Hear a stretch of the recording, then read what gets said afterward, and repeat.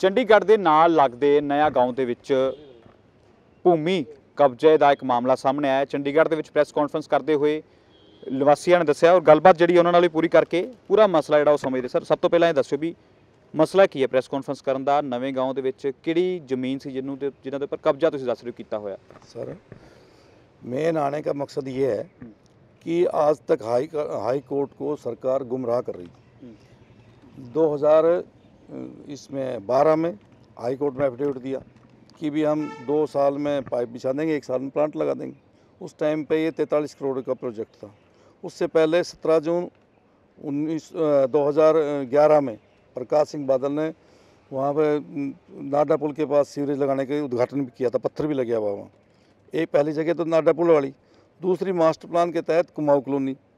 तीसरी फिर इन्होंने कही भी वहाँ पे नदी पार्क करेंगे तीसरा प्रिंसिपल सेक्रेटरी दे रहा है हर बार एफिडेविट कि नदी पार लगाएंगे तीन हो गया चौथा अब इक्कीस दो ने पंजाब सरकार के प्रिंसिपल सेक्रेटरी ने कह दिया कि अब हम पर्स पिंड में लगा रहे हैं अपनी जगह छोड़ के सरकारी जो कि तीन किलोमीटर दूर है वो वो कम से कम सत्तर अस्सी फुट ऊंचाई पे है और सबसे बड़ी बात लोगों ने वो एन से बाहर है और स्टे लेने के लिए लोगों ने खर्ड में केस भी डाल दिया है मेन बात यह है कि भी जब तीन एकड़ मिस्टर नरेंद्र सिंह काड़ू दान दे रहा था तो उसमें लगा देते चलो उन्हें दान दान पहली बात तो सामलाट लाट जगह है दान मालिकियत तो है नहीं उसके पास चलो दान देगा तो वहाँ लगा दो सीवरेज फिर इसने क्या किया नहीं सरकारी ट्यूबवेल लगाया वहाँ पे वो, यानी कुमाऊँ कॉलोनी मैंने आरटीआई से पूछा भाई ये ज़मीन किसने दान दी तो उन्होंने नहीं दी मैं पर कमिश्नर तक फर्स्ट अपील करी सेकेंड अपील करी फिर मैं कमिश्नर के पास जल कमिश्नर के ऑर्डर भी है मेरे पास मेरे को आज तक वो प्रोवाइड नहीं किसने डीड वो दान दी ज़मीन जब इस सरकारी जगह में ट्यूबवेल लगा सकते हैं चंडीगढ़ की जगह में दान ली एक इन्होंने दिखाया मेरे को भी मता पास है कि एक सौ उनतीस बटा एक में दान दी मिस्टर मुख्तार नरेंद्र काड़ोनर मुख्तार सरपंच ने वो दान की जगह तो नहीं मिली कोई बात नहीं ਦਾਨ ਤਾਂ ਵਾਟਰ ਸਪਲਾਈ ਵਾਲੇ ਕੋ ਮਿਲੀ 129/1 ਨਹੀਂ ਦਾਨ ਤਾਂ ਤਾਂ ਹੁੰਦੀ ਜੇ ਕਿਸੇ ਦੀ ਮਾਲਕੀਅਤ ਹੋਵੇ ਜਿਹੜੀ ਉਹ ਜਗ੍ਹਾ ਨਇਆ ਗਾਉਂ ਦੀ ਆ ਉਹ ਕਿਹਦੇ ਨਾਮ ਦੇ ਉੱਤੇ ਜਗ੍ਹਾ ਹੈਗੀ ਆ ਹੁਣ ਔਰ ਉਹਦੀ ਕਿ ਜਾਂ ਕਬਜ਼ਾ ਕੀਤਾ ਹੋਇਆ ਕਿਸੇ ਦੇ ਨਾਮ ਦੇ ਉੱਤੇ ਨਹੀਂ ਹੈ ਸਰ ਉਹ ਐਕਚੁਅਲ ਪਿੱਛੇ ਇੰਤਕਾਲ ਟूट ਗਿਆ था ਡੀਸੀ ਨੇ ਤੋੜ ਦਿਆ था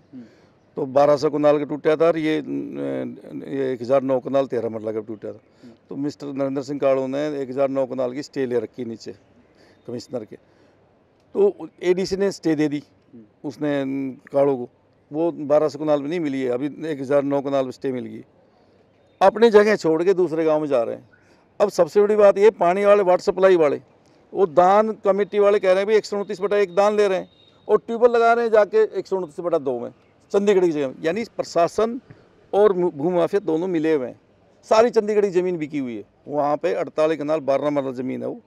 वो तीन सौ फुट इधर रोड से इधर चौड़ाई है नौ सौ फुट लंबाई है हम्म। ये टोटल ज़मीन एक सौ पच्चीस कनाल है जो कि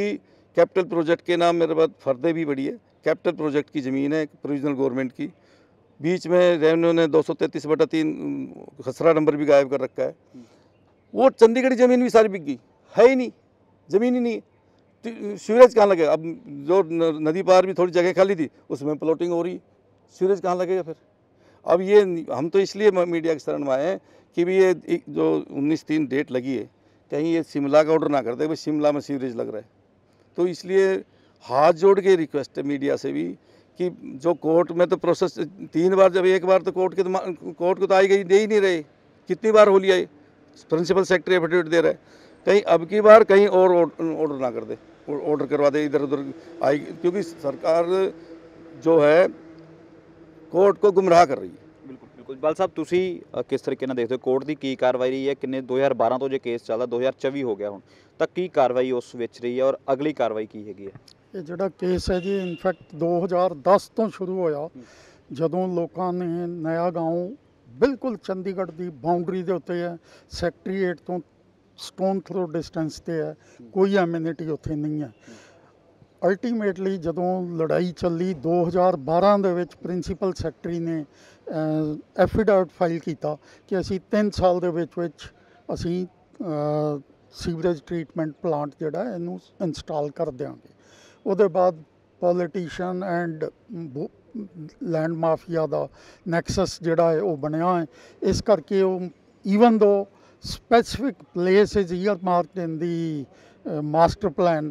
ਜਿਹੜੀ ਕਿ ਹੁਣ 2031 ਤੱਕ ਉਹ ਚੱਲਣੀ ਆ ਮਾਸਟਰ ਪਲਾਨ ਵੈਲਿਡ ਹੈ ਉਹਦੇ ਵਿੱਚ ਸਪੈਸਿਫਿਕ ਪਲੇਸ ਈਅਰ ਮਾਰਕ ਹੋਣ ਦੇ ਬਾਵਜੂਦ ਵੀ ਉਹਦੀ ਜਗ੍ਹਾ ਨੂੰ ਸ਼ਿਫਟ ਕਦੀ ਇੱਥੋਂ ਉੱਥੇ ਕੀਤਾ ਜਾ ਰਿਹਾ ਆਈਡੀਆ ਇਜ਼ ਓਨਲੀ ਦਿਸ ਕਿ 1009 ਕਨਾਲ ਜ਼ਮੀਨ ਜਿਹੜੀ ਹੈ ਉਹ ਆਫੀਸਰਸ ਤੇ politician with the connivance of land mafia ਉਹ ਨੂੰ ਹੜਪ ਕਰ ਜਾਣ ਔਰ ਚੰਡੀਗੜ੍ਹ ਦੀ ਬਿਲਕੁਲ ਬਾਉਂਡਰੀ ਦੇ ਉੱਤੇ ਹੁੰਦਿਆਂ ਹੋਇਆਂ ਉਹ ਇਸ ਵੇਲੇ ਇੱਕ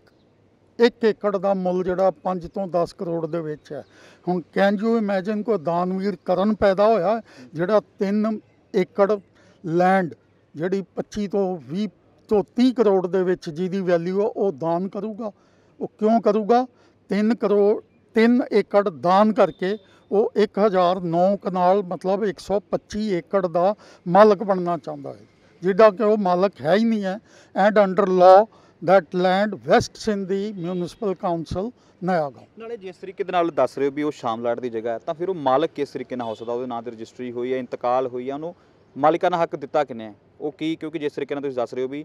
ਜਿਹੜੇ ਪ੍ਰਿੰਸੀਪਲ ਸੈਕਟਰੀ ਆ ਲੋਕਲ ਬੋਡੀ ਗਵਰਨਮੈਂਟ ਦੇ ਉਹ ਤਿੰਨ ਵਾਰ ਐਫੀਡੇਵਿਟ ਜਿਹੜਾ ਫਾਈਲ ਕਰ ਚੁੱਕੇ ਤਾਂ ਫਿਰ ਉਹਦੇ ਬਾਅਦ ਕਿਵੇਂ ਕਾਰਵਾਈ ਨੂੰ ਅੰਜਾਮ ਦਿੱਤਾ ਜਾ ਰਿਹਾ ਹੁਣ ਤੱਕ ਉਹਦੇ ਵਿੱਚ ਜੀ ਉਹਨੇ ਪਹਿਲਾਂ ਸਿਵਲ ਕੋਰਟ ਦੇ ਵਿੱਚ ਲਿਟੀਗੇਸ਼ਨ ਚਲਾਈ he lost up to high court ਕਿ ਮੈਨੂੰ ਮਾਲਕਾਨਾ ਹੱਕ ਮਿਲ ਜਾਵੇ ਜਦੋਂ ਉਹਨੂੰ ਮਾਲਕਾਨਾ ਹੱਕ ਨਹੀਂ ਮਿਲਿਆ ਅਲਟੀਮੇਟਲੀ ਉਹਨੇ ਇਹ ਚਾਲ ਖੇਡੀ ਕਿ ਜੀ ਮੈਨੂੰ ਇਹ ਦਾਵਾ ਵਾਪਸ ਲੈਣ ਦੀ ਪਰਮਿਸ਼ਨ ਦਿੱਤੀ ਜਾਏ ਹਾਈ ਕੋਰਟ ਨੇ ਉਹ ਪਰਮਿਸ਼ਨ ਉਹਨੂੰ ਦੇ ਦਿੱਤੀ ਔਰ ਉਹਨੇ ਅਥਾਰਟੀਜ਼ ਦੇ ਨਾਲ ਮਿਲ ਕੇ assistant collector commissioner of the division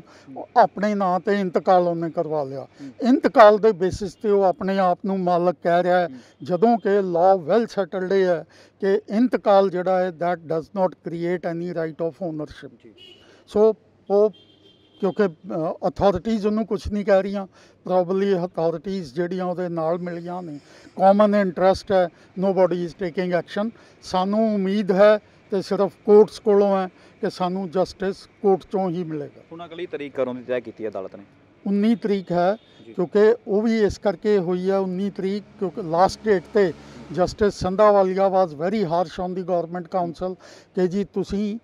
ਅਸਲੀ ਜਗ੍ਹਾ ਤੋਂ ਇਹਨੂੰ ਸ਼ਿਫਟ ਕਰਕੇ 3 ਕਿਲੋਮੀਟਰ ਦੂਰ ਲੈ ਗਏ ਹੋ ਔਰ ਉਹਦਾ ਗ੍ਰੇਡੀਐਂਟ ਬਹੁਤ ਉੱਚਾ ਹੈ how the sewage will flow to that place so it is not possible ਹੁਣ ਲੈਟ ਅਸ ਸੀ 19 ਤਰੀਕ ਨੂੰ ਉਹ ਕੀ ਆ ਕਿ ਨਵਾਂ ਕੋਈ ਸ਼ੋਸ਼ਾ ਛੱਡਦੇ ਨੇ ਜਾਂ ਕੀ ਕਹਿੰਦੇ ਨੇ ਲੈਟ ਅਸ ਸੀ ਬਿਲਕੁਲ ਬਿਲਕੁਲ ਧੰਨਵਾਦ ਆ तमाम ਮੁੱਦੇ ਸੀ ਜਿਸ ਤਰੀਕੇ ਦੇ ਨਾਲ ਨਇਆ ਗਾਉਂ ਦੇ ਵਿੱਚ ਭੂਮੀ ਕਬਜ਼ਾ ਕੀਤਾ ਜਾ ਰਿਹਾ ਔਰ ਸੀਵਰੇਜ ਪਲਾਂਟ ਜਿਹੜਾ ਉਸ ਨੂੰ ਲਗਾਉਣ ਦੀਆਂ ਗੱਲਾਂ ਤੋਂ ਬਾਅਦ ਲਗਾਤਾਰ ਜਗਾਵਾਂ ਬਦਲੀਆਂ ਜਾਂਦੀਆਂ ਤਾਂ ਨਿਵਾਸੀ ਜਿਹੜੇ ਨੇ ਉਹ ਪਹੁੰਚੇ ਅੱਜ ਪ੍ਰੈਸ ਕਲੱਬ ਦੇ ਵਿੱਚ ਪ੍ਰੈਸ ਕਾਨਫਰੰਸ ਕੀਤੀ ਹੈ ਔਰ ਸੀਨੀਅਰ ਐਡਵੋਕੇਟ ਜਿਹੜੇ ਨੇ ਉਹ ਵੀ ਪਹੁੰਚੇ ਉਹਨਾਂ ਨੇ ਵੀ ਸਿੱਧੇ ਤੌਰ ਦੇ ਉੱਪਰ ਕਿਹਾ ਹੈ ਕਿ 19 ਤਰੀਕ ਨੂੰ ਜਿਹੜਾ ਫੈਸਲਾ ਆਵੇਗਾ ਉਸ उपर ही सारी गेम जी हूँ टिकी हुई है camera person Sumit Manjot Kang Dainik Savera TV Chandigarh देश दुनिया की हर खबर सबसे पहले देखने के लिए फॉलो करें Dainik Savera TV YouTube Facebook Instagram X और व्हाट्सएप चैनल आरोप